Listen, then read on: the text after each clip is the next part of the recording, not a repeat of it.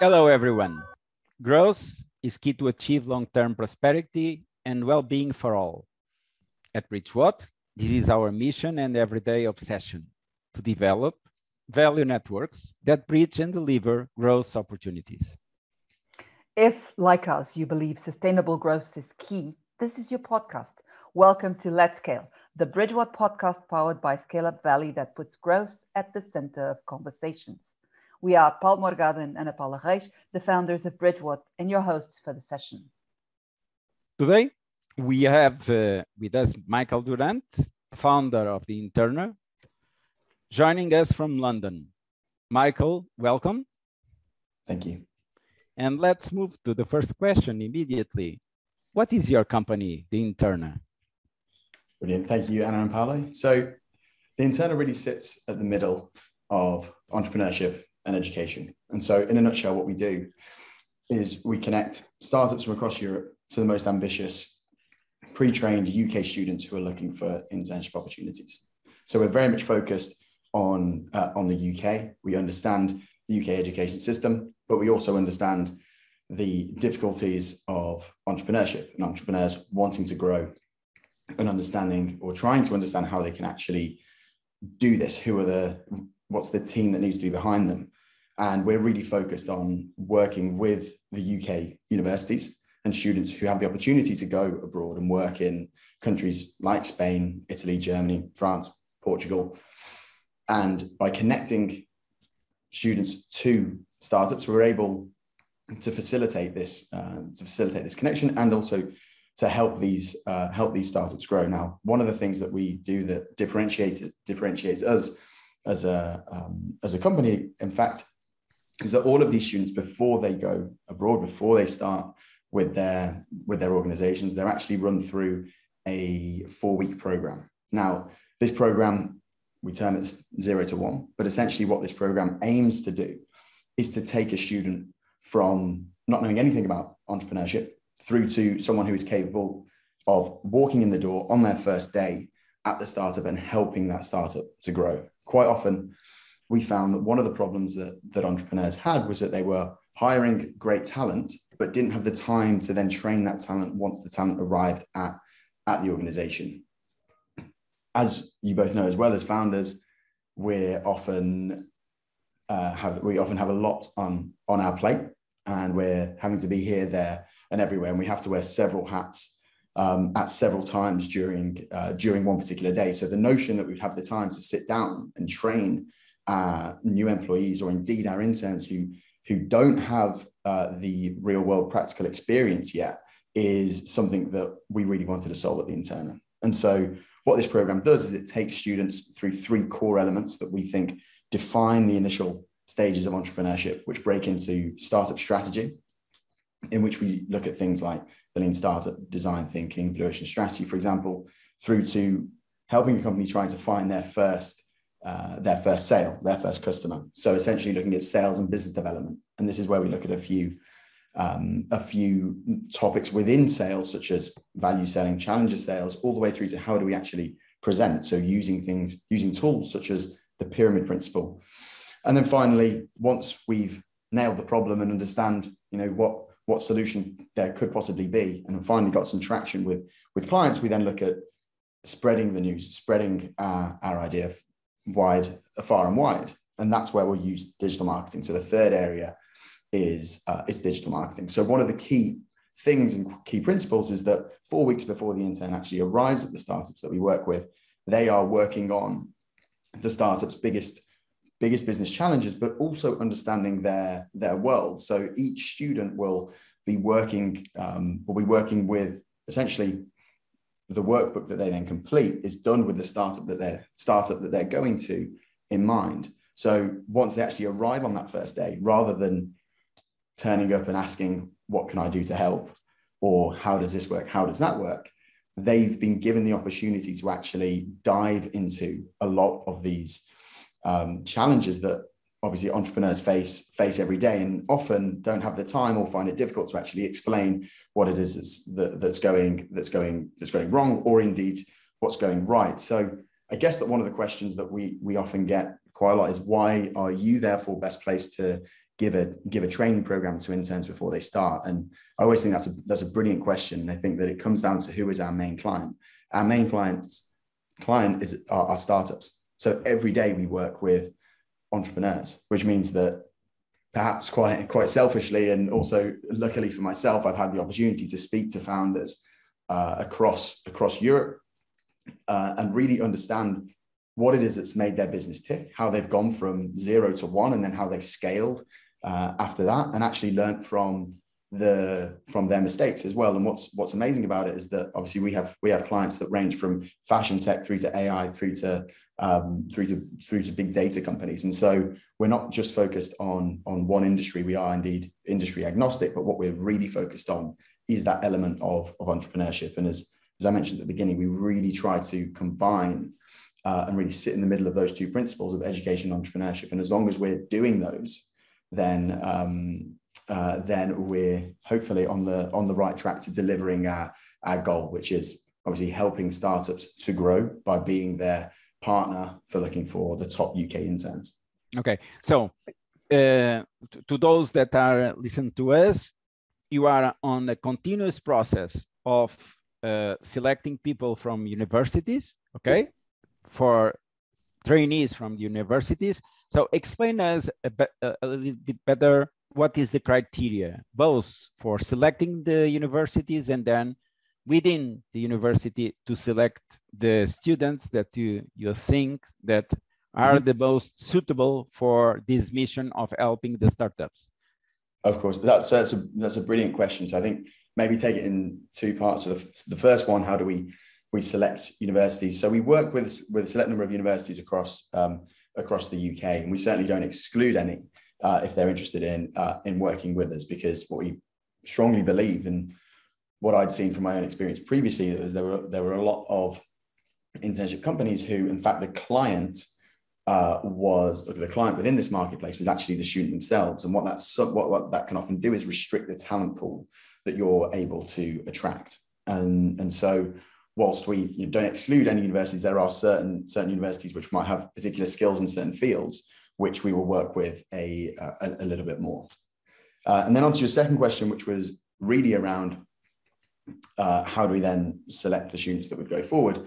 I, I guess this this this links to a um, perhaps something that's actually key to all entrepreneurs and all businesses is that we really believe in having the client at the center of our business. So before we even go through a selection process of which students would go through an interview, I first sit down and work alongside the entrepreneur to understand what it is that they are really looking for in the um, in the students, or indeed in the, all of the employees that they want to help grow their business. And so, having that, I can then move on to having interviews with the students themselves before they then are put forward. Um, but indeed, I think one of the biggest attributes that that I that I've seen in the business that that I've been in for the past four and a half years is really that if you hire for traits, if you look for certain traits in people, then rather than capabilities right at the beginning, then I think that you generally tend to find there's a there's a there's a better outcome um, because I think if you're both working towards a common goal, and once you can see, you can naturally see a common goal between what that particular entrepreneur, what the culture of that particular startup is, and where they're focused, and also the interests of those of those students. And it's when those have aligned that we really find the most value for, for both. Uh, you're an, an, entrepreneur yourself, working to help other entrepreneurs because startups is your uh, area, your your main market. Tell us your story. Why and how and uh, where did this idea come? What triggered the uh, starting of the Interna? Of course. So, um, in fact, Ana, the way that the Interna actually came about was through a personal personal experience of mine. So when I was at university, I was lucky enough to go on uh, what they term in the UK a year abroad, and that means that you're able to spend a year in in another country. So uh, I was lucky enough to split my time between Paris and Rome, and when I was in Paris, I was looking for an internship in Rome, and well, in Rome, I well in Italy, and I, I was making literally hundreds of applications and was hearing very, very little back. And then I resorted to finding e- finding companies on the internet and just emailing them directly. I then even went on to making calls directly and saying, look, can I work for you. I'm looking for an internship. I think I can add value to your business. Um, please, could I? Or all I'm looking for is an opportunity. And what I found was that at the time, the companies were fairly skeptical as to saying, why is there an English or, or UK intern wanting to come over here? How does it work? And they were fairly confused. And luckily, one one person at a company called BizPlace in Rome uh, gave me the, gave me the opportunity. Um, I'd only spoken to the founder of the business, Federico Palmieri, um, once before, and that was on Skype. And then decided to book my ticket to Rome and and turned up. And once I'd once I'd turned up on my on my first day, expecting to see, I knew I knew it was a startup. I was assuming ten to fifteen people working there, and when I turned up, it was just me and him. So he was 22 and I was 21, and he had this vision of helping other startups in Italy raise investments from raise investment from angel investors, business incubators, accelerators. And so together we tried to start this place and start building it up from from uh, from where it was then uh, into an actual business. And in fact, by the end of my time there, because I had to come back to university to finish off my studies, I thought I've had such an incredible experience working in a startup. I learned an incredible amount because rather than going into an organization and doing one particular task for the whole of the of the number of months that I was there, in fact, I'm, I was able to see the whole product lifestyle of actually, actually trying to build a business. So, working in a startup, I found that I was able to get experience across sales, I was marketing, the accounts, the legal side, the network side, the business development side, and also obviously the negatives of entrepreneurship where people aren't happy with what you're with what you're producing or where the technology doesn't work. Uh, but actually, it was through those experiences that I learned an incredible amount. And in fact, Federico, who I'd worked with to start this place, also absolutely loved the experience, and that business continues uh, today and has actually been uh, been very very successful. So once I got back to university in my final year, whilst I probably should have been doing more work for my for my degree, in fact, I was then trying to build the interna. I was trying to think how can I give other students the same experience I had, but indeed also give other startups who have got a dream, other entrepreneurs who want to build uh, want to build a business, want to build a new service line, the capacity and the ability to take on someone who's ambitious and wanting to learn to help them take their business forward, but not have to take on a full-time employee. And so really what that what that meant was that off the back of that, I decided to try and, and launch the Interna. And, and, first I made I made a big mistake. So I thought hmm, I thought I can do everything. I can connect students from all across the globe to companies all across the globe and put together this very poor looking website and then realized that I didn't have any connections there. I didn't think before I'd actually started. And so, in fact, what I learned pretty quickly was actually being really, really niche when you start. It was massively, massively important. And so, what I'd done instead was tailored it back and just focused simply on the university I was at and with startups in Italy. And then off the back of that, once we started to get some traction and I could learn from customers, learn what they liked, what they didn't like, that meant that I was then able to start to build it a little bit bigger, whereby it was going more to Spain, Germany, France, etc. So, yeah, and uh, well, you started the company, and uh, you started to have the first clients. Uh, is there any representative client or a representative uh, project that you, you want us uh, to know more about it? Sure, absolutely. I'll, um, there's one, one, one project, one client which I really loved working with uh, in, uh, in, in particular. And given that I haven't spoken to them before this podcast, I'll keep them unnamed for now. Um, but they were working in the, or are working in the Spanish market, and a, a startup there very much focused on the electoral system and had a really exciting piece of technology which um, which could be used in essentially counting votes and things like that. And um, and they came to me with uh, with a proposition essentially saying that we want to uh, gain more exposure to the UK market. We're not sure where to start. We don't have a huge amount of of investment, but we need we need a couple of interns who are self starters, but can also try and help us build that business in the UK. Now, that sort of question to go to find someone who's 20 or 21 years old to help you do that is an extremely difficult uh, is an extremely difficult task because quite often to hear something like that is rather daunting. So with that in mind, I, I took it as a, as a real good challenge and actually spoke to quite a few interns uh, before proposing any of them.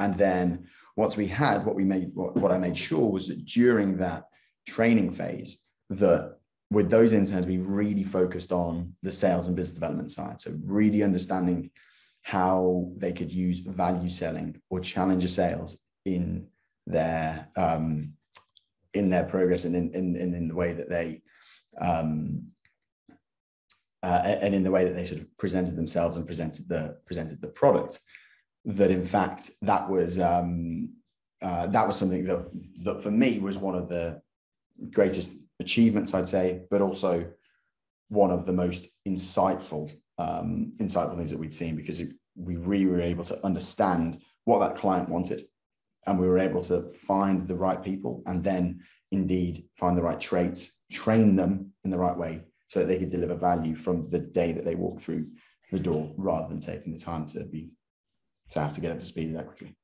Michael tell us exactly about that. You said uh, you could understand exactly what they wanted. So tell us the process. How uh, did you add value to that customer? What did you do to understand what the, what their problems were what was your process to get there Absolutely. So great question. So I sat down with the with the founder.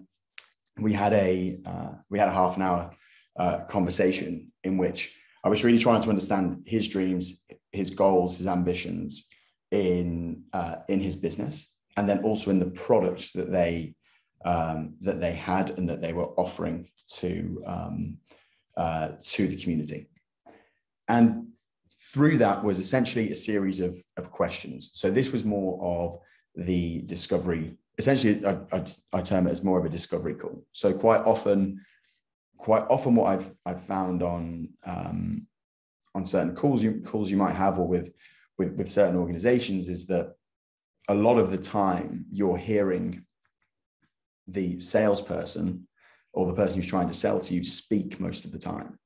And I certainly think that it certainly in the initial calls that listening is hugely underrated um, and also listening to understand rather than just listening to get your answer and, and not really taking in what they're what they're saying. So by really understanding what this what this client wanted to do, I could see that actually a lot what what what they had in mind was moving into the UK market without any contacts in the UK market, without the investment prospect of hiring a sales closer but also thinking that there was a huge potential for this uh, in the UK market. Now, with that with that particular problem, there were there would have been very few to no interns that would be able to immediately go into that market untrained and deliver value for for that client.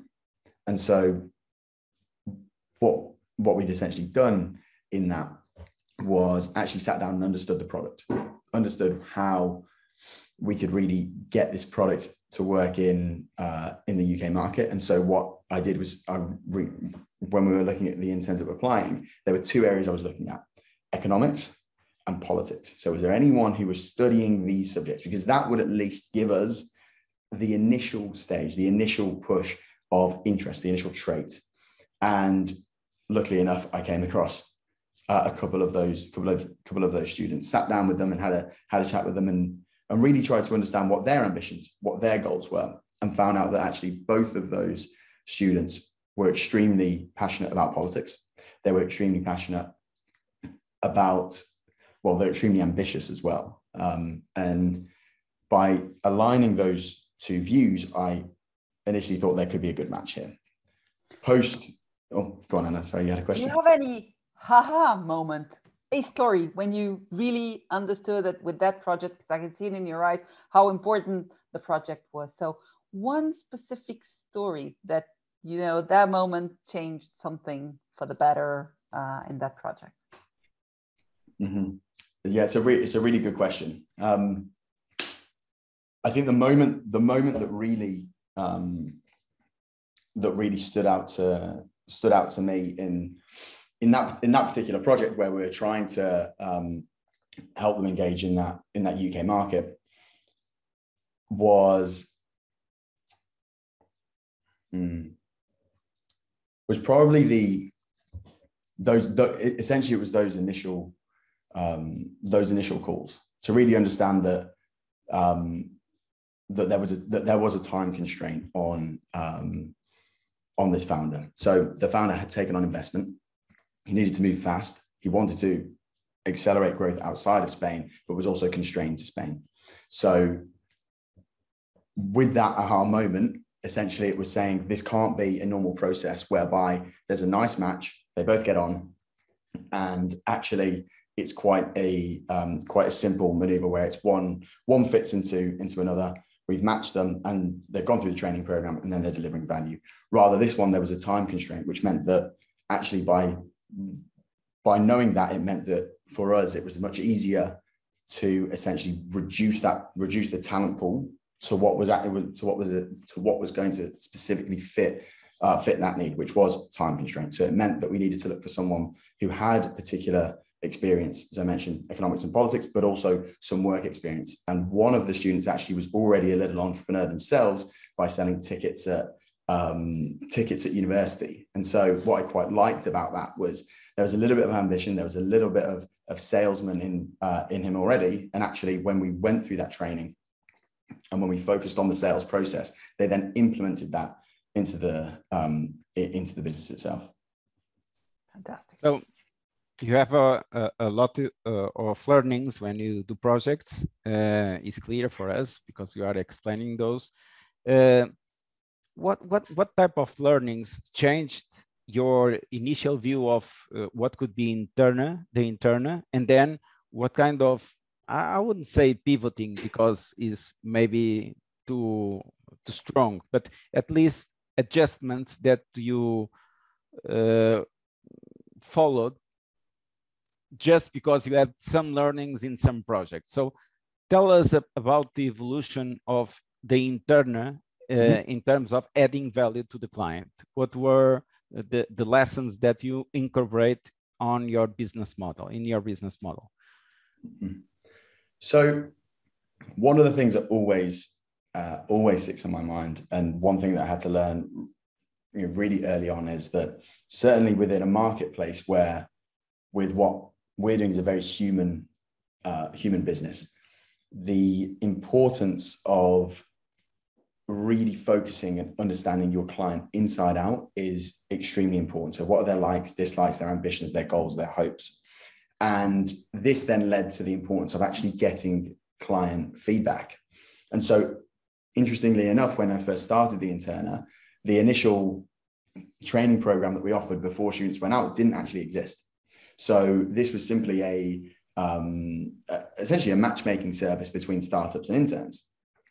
And what I was then looking at was really trying to get some more client feedback as to what what was working and what wasn't. And I kept getting very similar feedback from a lot of the companies that I was working with, and they were saying, "Look, it takes around six to seven weeks before uh, before we really see value from the intern. It takes us a lot of time working with them, etc. And then similarly from the student perspective, saying, look, it's it's really great and and you can get up to speed quite quickly, but it takes around six or seven weeks before I'm then able to work work alone on things and can take my, my own projects forward. So I sort of sat down and said to myself, how can I, I set myself a goal. How can I reduce that time from seven weeks to one week?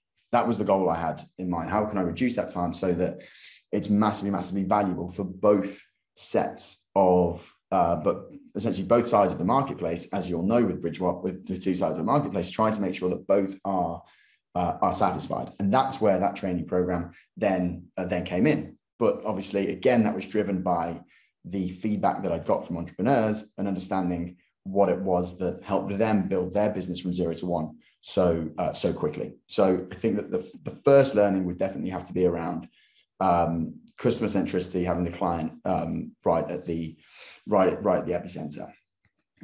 I think. And, oh, go on. Yes, of course. No, ju ju just a, a small reflection about what we have just said. You have two sorts of clients: the startups in one side of the platform and uh, the the students on the other side of the platform, and one must uh, allow the development of the other, and so on. So uh, usually we have this idea of chicken and egg problem because uh, sometimes platforms are not very interesting for one side because you don't have many people on the other side. I believe you bet for having the student side covered to offer the student side to the companies. Is this correct?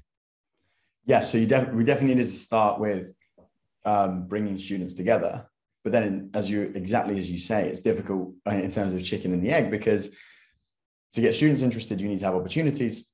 To get startups interested, you need to have the, the talent pool. And so the question is, where do you where do you focus first? And I think that from the learning that we got is we have a phrase in English which is where do you get the biggest bang for your buck, right? Which is essentially, you know, where can we where can we invest our time and often the little capital that you have when you first start start a business and get the largest results. And how do you measure that roi and then how do you implement it? And so what i found was that was actually working with the students first uh, because of where i am where because of where, where i was at that particular time. So there there's a um, well as you as you probably as you probably know within within the ideas of sort of the lean startup or, or a book or book by Ash Maurya called Running Lean, he talks about an unfair advantage. So what when you're an entrepreneur, when you're starting a business, what's your unfair advantage? That means that within this business, it's not, uh, or indeed the, the industry that you're trying to get in, it's not a level playing field. And so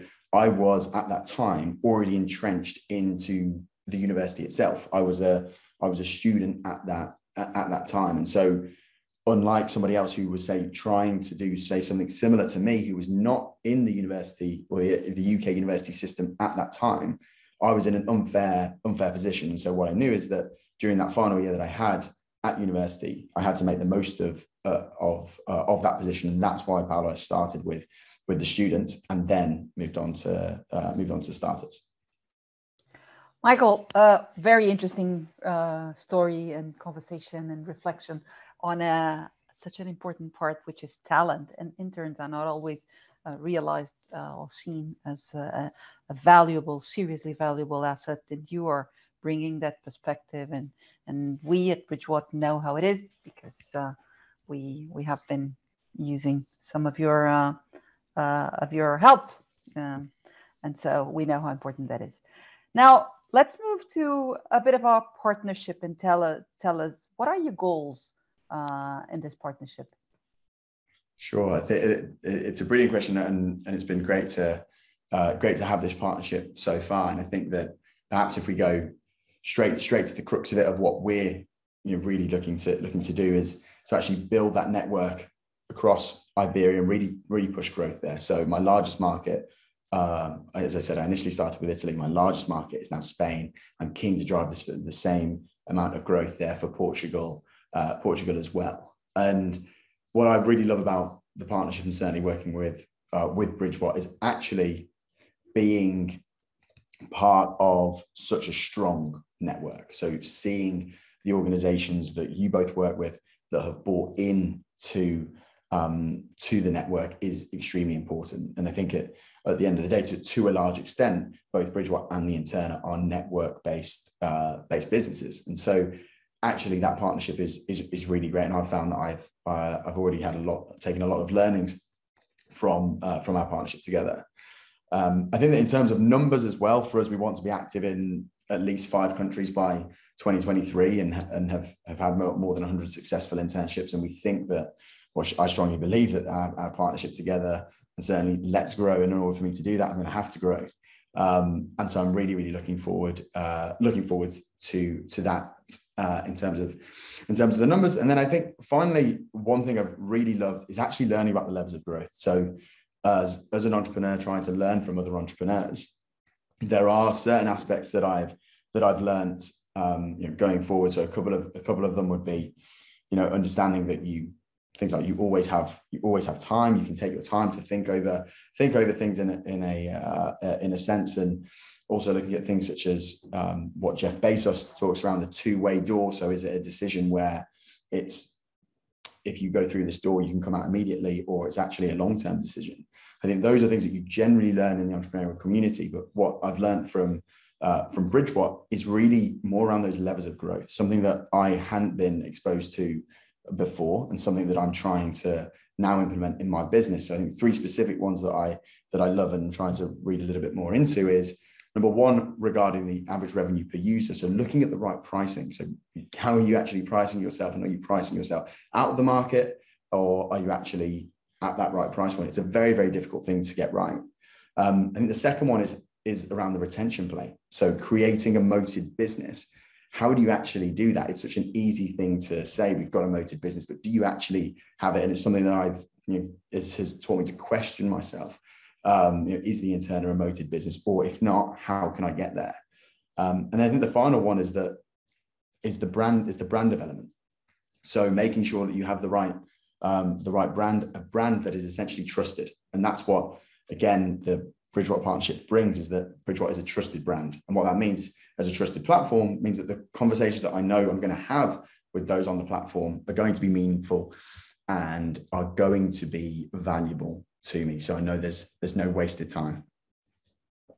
You know that uh, our mission is to help companies to grow. So all the participants that we have are here to grow. Can you tell us more specifically how can you help these participants that uh, you have already on Bridgewhat that are your peers in Bridgewhat, how can you help them in this specific task of growing? Sure, exactly. So um, it's a great question, and in keeping with in keeping with that, a couple of areas where I think that we're really helping companies to grow is number one, giving giving companies an international team.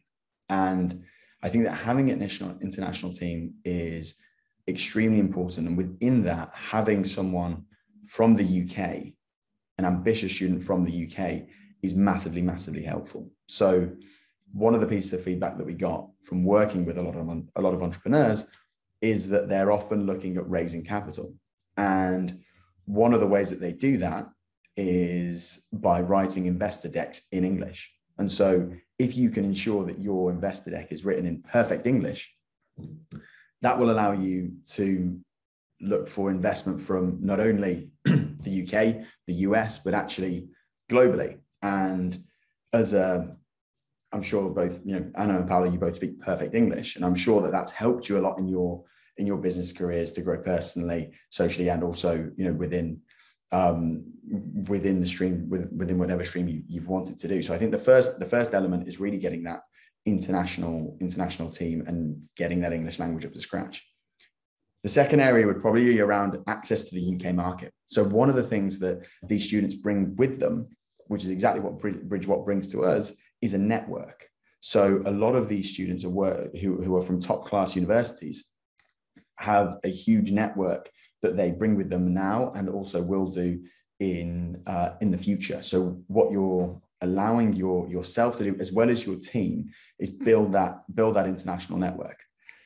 Um, and then I guess the final the final part which we really try to uh, try to push on is we like to help build entrepreneurial teams. That's what we do by by putting these students through our internship pre-internship training programs. We've also had some some companies ask if other of their uh, employees can go through the programs that's what we try to do. We try to to to instill a mindset that allows their employees to feel that they can challenge the challenge the status quo. Um, we only work with with entrepreneurs, and so this is something that naturally gets instilled in what in what we're doing. And quite often, it's that challenge of the status quo which really allows you to uh, to go to that next level of next level of growth to build that new revenue line. Michael, Tell us about your future development plans and how does Iberia fit in the Interna plans? Sure. So uh, very highly, actually. So um, Spain is is now our largest market, and quite often it depends on um, initially I'd started with with students who studied certain languages, which meant that naturally, if they studied Portuguese or if they studied Spanish or Italian, they would naturally go to those um, those companies, or sorry, to those countries. And then since then, we built it out so that we have students across economics, politics, maths, physics, computer science, which means that actually they're not they have they're they're essentially country agnostic to a large extent, and so will allow themselves to or give themselves the opportunity to choose where they'd like to go. And uh, the number of times I hear Spain, Portugal, and I'm sure it's probably for uh, perhaps for the weather, the food, the, the people, etc. Um, for us, Iberia really sits in that core area for from, from a student perspective. The second um, the second area is obviously from uh, from the companies themselves. So from um, from the investment that is pouring in from a venture capital perspective, from an angel investor perspective into startups in Iberia is um, is growing and is set to grow for um, for the future as well. So that is something that we're really keeping um, keeping an eye on. So in terms of those those future developments from a country perspective, uh, for me, Iberia is, is, is, an, is an essential place for um, for us to be. So I'm keen to keen to grow that, and similarly from an area from a perspective of not trying to have too many eggs in one basket. It's important that we get uh, a spread of clients across uh, across countries in uh, in Europe. So so Iberia certainly does does fit into those, and uh, and and and as I've said before, Spain being our biggest market at the moment, we're keen to that and now develop that larger as well. You know that in in this podcast, uh, our last question is always the same. Uh, what is your definition of growth? I think uh, so. It's a it's a brilliant question, and uh, I've listened to a couple of the previous podcasts and have been very impressed by some of the definitions that have been there. So hopefully, um, uh, hopefully mine mine can be almost as good, um, or at least getting somewhere there. So I think that the this sort of question is uh, is a tricky one in the sense that the definition of um, the definition of growth in and of itself is not necessarily straightforward. And so I think that um, similarly, as companies want to grow, the reason that Bridgewhat has you know, 20 levels of growth is that it's not a straightforward answer to, um, to how you grow. But the way that I see it is sort of splitting growth into two different, uh, different areas. So one, I split growth into stages, and the other one, I split it into growth types. So what I mean by that is looking at it slightly, um, slightly like a matrix to, to some extent. So the first stage I would see is uh, essentially moving from zero to one. So this is where either you're looking at developing a business, you're an entrepreneur, or a new uh, a new revenue new revenue line, for example. So within this part, you shouldn't really necessarily be looking at metrics such as what was our revenue, but you want to be looking at maybe the number of users that we're that we're increasing by. What's the growth there? So that's the sort of the first stage of zero to one.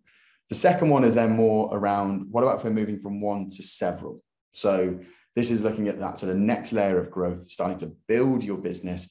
You're starting to track revenue figures but you're trying to build a sustainable and hopefully recurring business model. And that final stage, which I think is really where Bridgewhat is helping its um, its its customers and its network, is how do you go from several to many? So that's sort of that third stage of growth. That you're more focused on sort of several levers that you can use to um, to do that. So be that optimizing your sales process all the way through to your actual inorganic plays. So do we have do we have the do we have the skills in house to build this particular product or um, or this area of growth, or do we look uh, do we look elsewhere? Do we look through through an M and A strategy? So that's sort of the stages of growth that I see. And then in terms of the type of growth, I probably break it into two. So one being commercial growth, and the other one being entrepreneurial growth. So commercial growth is I would probably term that as how can we increase revenue because I think revenue is a big figure when we look at when we look at big element when we look at growth, but how can we increase revenue from existing products? So can we go into new geographies? Can we make our pricing um, make our pricing more efficient, whereby we're uh, essentially looking more into that sort of price elasticity of demand and trying to see how can we change price to change um, to change revenue? How can we build marketing and loyalty? So I think that's sort of the commercial type of growth. And then on the entrepreneurial growth, this is really around new business lines, new products, and a lot more uncertainty where you're testing testing the market. So I guess, Paulo, I probably haven't answered your question directly um, or as in, in the most straightforward way that I could, but that's how I see growth.